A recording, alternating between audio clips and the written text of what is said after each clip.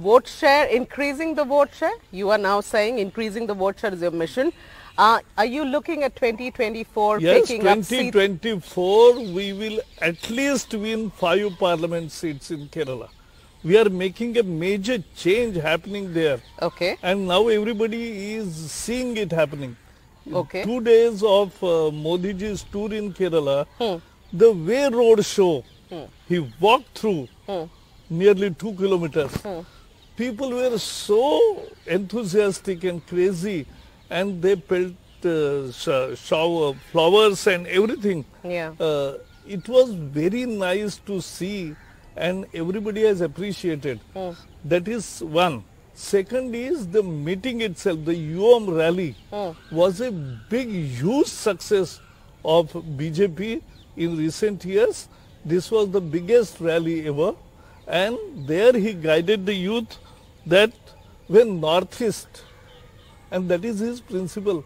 Even in BJP office, when we won Meghalaya and Nagaland and other states, hmm. so he said that when Christian majority states are voting for BJP second time, why not Kerala? And Kerala, we have made a deliberate attempt to hmm. achieve this. We have taken a Sneha Samvad and Sneha Yatra with all Christian families. Uh, we first went to nearly uh, 15, 20,000 Christian houses during Christmas, giving them cakes or Christmas tree.